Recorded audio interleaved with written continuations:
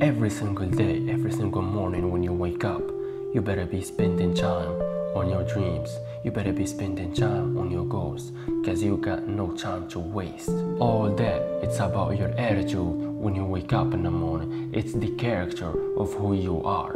It's not the title that makes you. It's not the success that makes you. It's not the fame that makes you. It's you. It's all about you. It's about who you are and who you think you are. Believe me, it's all about you. It's all about what time you wake up in the morning. It's about if you are a disciplined person or not. It's about how you work and how you train your body and your mind. It's about how you look at yourself and which way you look at yourself.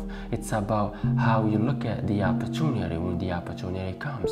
It's about how you react after that. It's about how you train your abilities every time. Just focus, just forget the past. You're standing up for your life now. You're standing up for your dreams.